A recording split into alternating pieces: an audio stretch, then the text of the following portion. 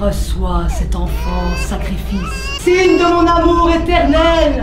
Oh, maître des ténèbres, reçois-le, prends-le.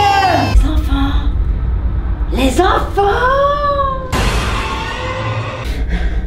Tu vas ranger les clous. Non